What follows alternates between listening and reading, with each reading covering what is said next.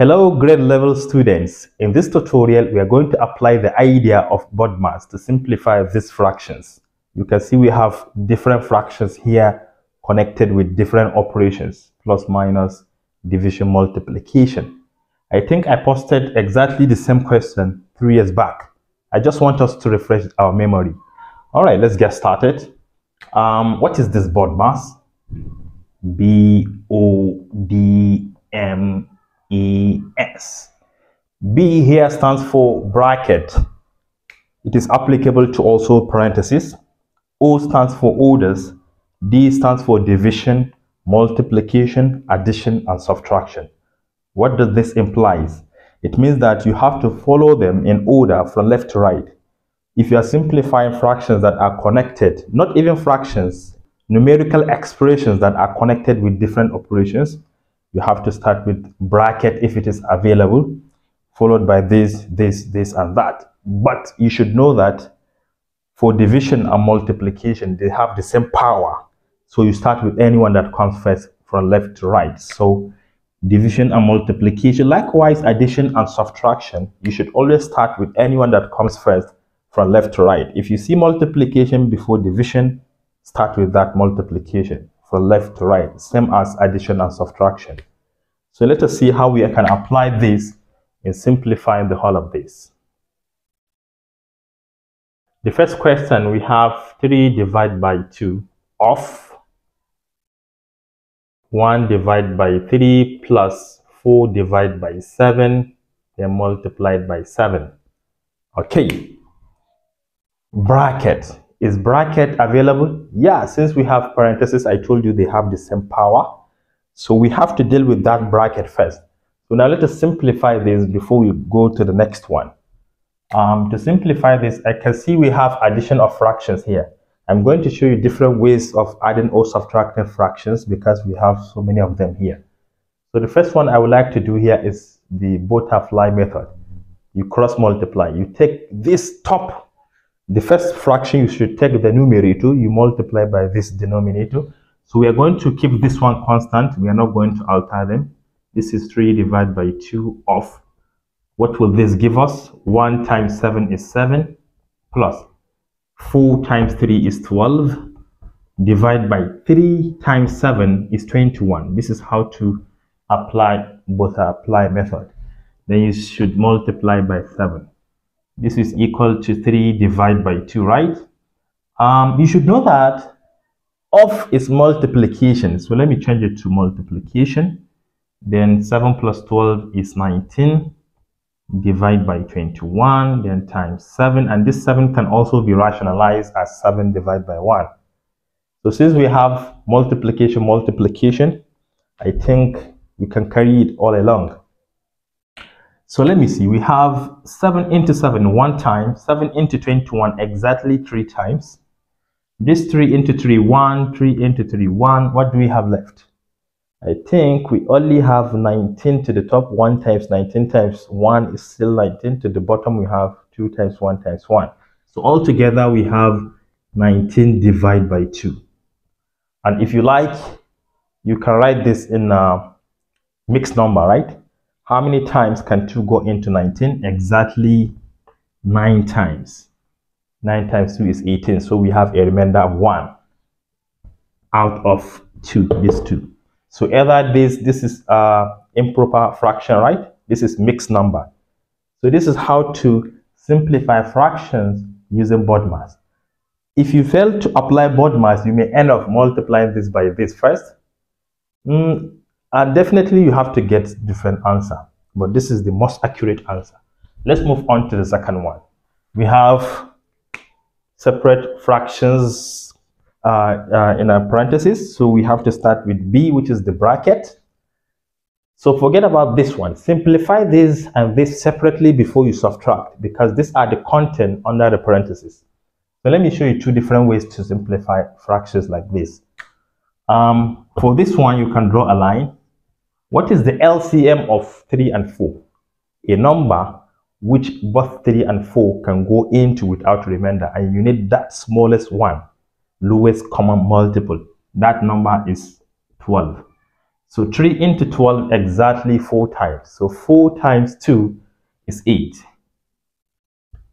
Plus, because we have plus to the top. 4 into 12 exactly 3 times. 3 times 1 is 3. Right? Then minus, this minus. You do the same thing here. But let me see. Um, let me show you another way of simplifying fractions like this. What is the LCM of 5 and 3? is 15. So we are going to transform these two denominators into 15. To do that, I think to make this 5 into 15, you have to multiply it by 3. For equivalent fractions, you have to multiply the top by the same value, right? So 3 times 1 is 3. 3 times 5 is 15. Plus, don't forget we have parentheses here. Do the same thing here. How can we change this to 15 by multiplying by 5, right? So you multiply the top and the bottom by 5. 5 times 2 is 10. 5 times 3 is 15. Now you we have the same denominators. This is why I told you I'm going to show you different ways of simplifying fractions. 8 plus 3 is 11, right? This is 11 divided by 12, then minus this plus that because we have the same denominators. This and this will give us 13 divided by 15 we are not done yet um, you can see that we have our denominators as 12 and 15 what is the LCM 60 is the smallest number which 12 and 15 can go into without remainder.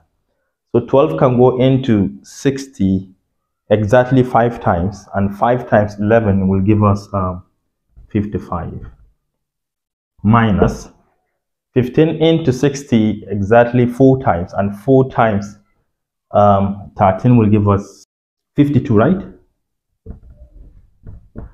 And finally 55 minus 52 will give us 3 so this is 3 divided by 60 and 3 can go into itself one time so this is 1 and 3 can go into 60 exactly 20 times so we have 1 over 20 as our final answer after simplifying the whole of this.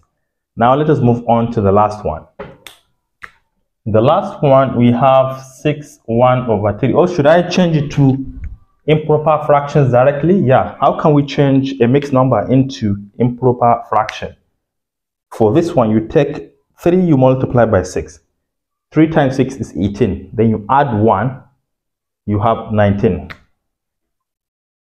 19 divided by this value here 3 so 19 over 3 or 6 1 over 3 they are the same thing then multiplication do the same thing here 6 times 2 2 times 6 is 12 plus 1 is 13 divide by 2 we have a division sign do the same thing here 4 times 9 or 9 times 4 is 36 36 plus 3 is 39. Divide by 4. And lastly, we have minus 5 divided by 9. All right. So again, you follow this pattern. Bracket, we don't have any. Orders, we don't have. Division and multiplication, they are done simultaneously. So since we have multiplication and division, let's start with multiplication. To multiply this, nothing can go into anything here because 2 cannot go into 19 without remainder. Likewise, 3 into 13. So we can just multiply. So this is equal to 19 times 13. It's a big number. So let me leave it like this. But 3 times 2 is 6. All right.